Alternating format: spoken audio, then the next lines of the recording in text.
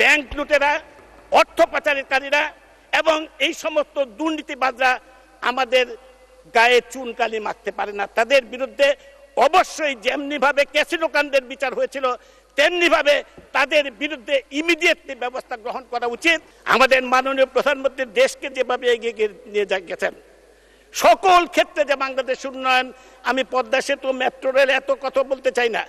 সকল ক্ষেত্রে যে আমাদের উন্নয়ন বিশ্ববাসী যখন আমাদেরকে অহংকারের চোখে দেখে বাংলাদেশকে, আমাদের মাননীয় প্রধানমন্ত্রী বিশ্বাস করি আজকে চারবার ক্রমান্বয়ে তিনি আজকে রাষ্ট্রীয় ক্ষমতায়।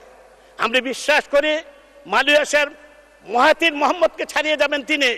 যদি এই দুর্নীতি, ব্যাংক লুটেরা এবং এই অপকর্ম যারা করে, তাদের বিরুদ্ধে যদি আজকে ব্যবস্থা গ্রহণ করা যায়, বিশ্বাস করি আবার তিনি ক্ষমতায় আসবেন রাষ্ট্র ক্ষমতায় আওয়ামী লীগ আসবে এবং মাননীয় প্রধানমন্ত্রী আবার সরকার গঠন করতে পারবেন।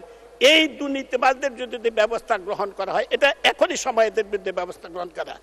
আমরা রাজনীতি যারা করি আমাদের লজ্জা হয় এই সমস্ত লোকদের ব্যাংক লুটেরা বা যারা যে সমস্ত কাজ করছে এই সমস্ত যখন আমরা চিত্র যখন আমরা দেখি।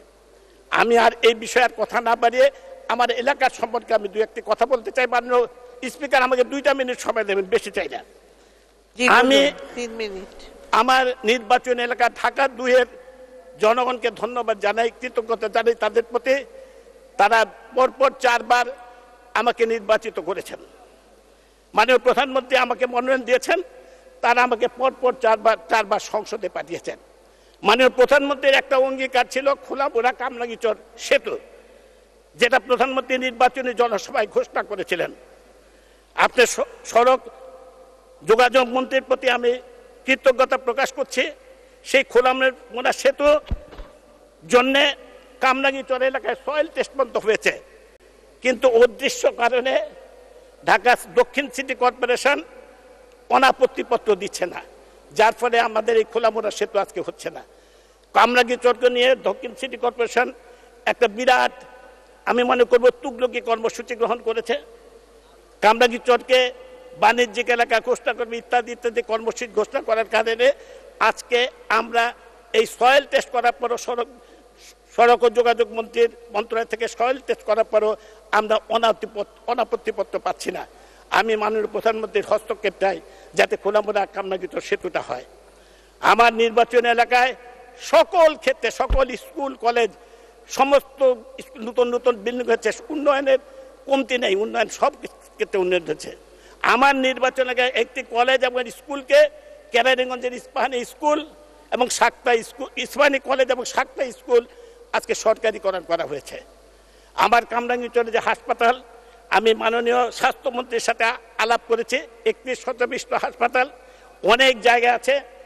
মোহাম্মদ নাসিম প্রয়াত নেতা মোহাম্মদ নাসিম কথা দিয়েছেন এই হাসপাতাল পঞ্চাশ বেড বা একশো বেডে উন্নত করবেন। স্বাস্থ্যমন্ত্রী মহোদয় কথা দিয়েছেন, তিনি হাসপাতাল পরিষদ দর্শনে যাবেন এবং ইনশাল্লাহ আমি আশা করি এই ব্যবস্থাও তিনি করবেন। আমার এলাকায় ভাকুরতায়, যেখান থেকে সাভার থেকে মোহাম্মদপুর আসতে লাগতো সোয়া ঘণ্টা, সেখানে একটা রাস্তা আমরা করতে পেরেছি ভাকুরতার থেকে, আজকে সাভারের থেকে মোহাম্মদপুর আসতে লাগে মাত্র পনেরো থেকে বিশ মিনিট। উন্নয়নের কমতি নেই, আরও যে সমস্ত কাজ আছে, আমি বিশ্বাস করি সেই কাজগুলো আমরা, এই সময়ের মধ্যে আমরা সেই কাজগুলো করতে পারব। আমি কথা না বাড়িয়ে আমি এখানে আমার বক্তব্য শেষ করতে চাই। শুধু শেষ করার আগে আবারও বলতে চাই, বিশ্বের অন্যতম সৎ রাষ্ট্রনায়ক আমাদের মাননীয় প্রধানমন্ত্রী। আমাদের দেশে ব্যাংক লুটেরা, অর্থ পাচারকারীরা এবং এই সমস্ত দুর্নীতিবাজরা আমাদের গায়ে চুনকালি মাখতে পারে না। তাদের বিরুদ্ধে অবশ্যই যেমনিভাবে ক্যাসিনো কাণ্ডের বিচার হয়েছিল, তেমনিভাবে তাদের বিরুদ্ধে ইমিডিয়েটলি ব্যবস্থা গ্রহণ করা উচিত। আমি এই কথা আমি বিনয়ের সাথে আমি অনুরোধ করতে চাই। এই কথা বলে স্পিকার আপনাকে এবং সবাইকে ধন্যবাদ জানিয়ে আমার কথা বলে এখানেই শেষ করছে।